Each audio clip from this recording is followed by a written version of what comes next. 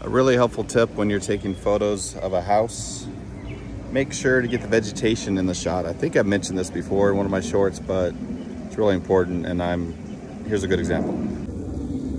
You see how I have some vegetation in the frame of my photo?